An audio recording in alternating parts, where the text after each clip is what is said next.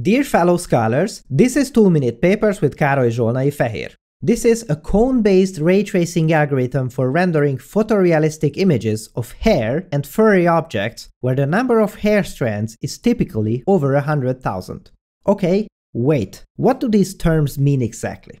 Ray tracing means a bona fide light simulation program where we follow the path of many millions of light rays between the light sources and our camera. This usually means that light reflections and refractions, lens blur, and defocus are taken into consideration. This feature is also referred to as depth of field, or DOF in short, as you can see in the video. A fully ray traced system like this for hair and fur leads to absolutely beautiful images that you can see throughout this footage. So what about the cone-based part?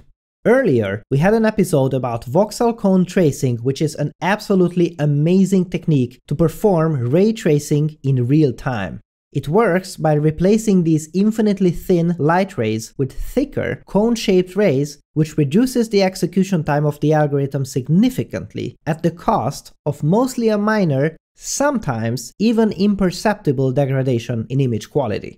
Since the hair strands that we are trying to hit with the rays are extremely thin, and cone tracing makes the rays thicker, extending this concept to rendering fur without non-trivial extensions is going to be a fruitless endeavor. The paper contains techniques to overcome this issue, and an efficient data structure is proposed to store and find the individual hair strands and a way to intersect these cones with the fibers.